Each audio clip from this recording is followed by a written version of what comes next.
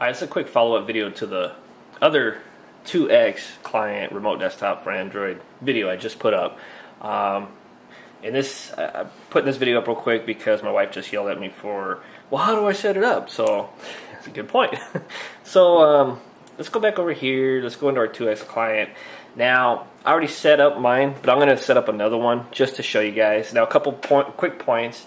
And I'm, I'm assuming that most of you who are wanting to remote desktop into their computers already know how to port forward and do all this stuff. But just a brief uh, description or brief set of instructions I can give is you need to from the outs from outside your network you need to get into your router and port forward port 3389 to forward to your IP address of your actual computer and make sure your computer has a static IP address so it doesn't change on you. Once you do that, um, you can be on the outside somewhere and remote desktop to your um, external IP address. And I, I, guess I should probably do another video on how to do all that as well. But um, just right now, you can just go to open up a browser, and go to whatismyip.org, and it'll tell you what your external IP address is.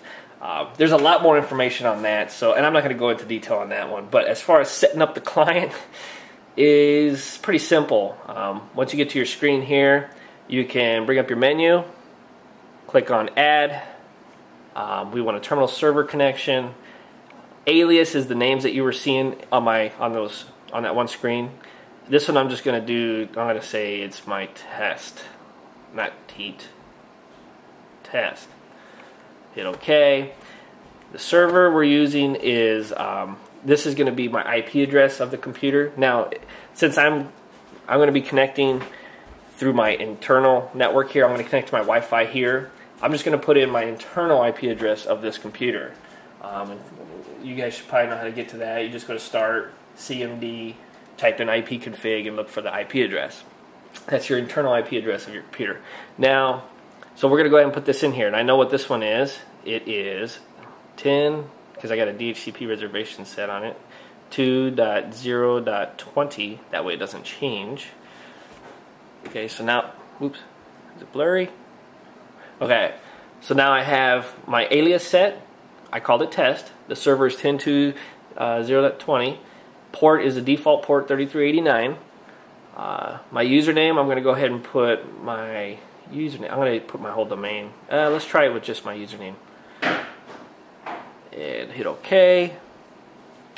I'm not going to put the password in here because I, I, don't, I don't. If someone takes my phone, I don't want them to be able to access anything. So, um, other than that, I'm going to leave everything else the same. Yes, connect to console. Um, that way, if uh, if I'm doing something here, I want to make sure that it gets connected to that console and not create a new session. But this isn't a server, so it shouldn't be a problem. Color depth, everything I'm going to leave. Uh, you can bring in the desktop background if you wanted to, and font smoothing, um, themes, sound redirection, everything. So, but I'm going to leave everything else default. And um, so I'm just going to hit the back button, and now you can see I have a test profile. Let me just connect to my Wi-Fi really quick. Make sure we get connected there and let's hit test. Okay, let's close that, and there we go. But I do see a problem, and if you look closely, see it has cdavis-pc slash cdavis. That's my local computer name, and it will not log on like that. Um, so since I'm on a domain network here, I have Active Directory set up. I need to go in here and change this. This is a little more advanced and if you know if you have Active Directory and everything, I'm sure you guys know how to set all this stuff up. But um, so what I want to do is bring my cursor to the front, type in my domain name, South Town, and then use the backslash Southtown C Davis. Hit OK, and uh, hit the back, and let's try it again. Uh, yes, disconnect the previous one. Okay, now you can see it's going to be logging in with the domain credentials, Southtown Dash Davis. But that's that's a basic example of how to set this up. Uh, again, the hardest part might be figuring out how to configure your router to port forward. Um, maybe setting up a dynamic DNS account so that way.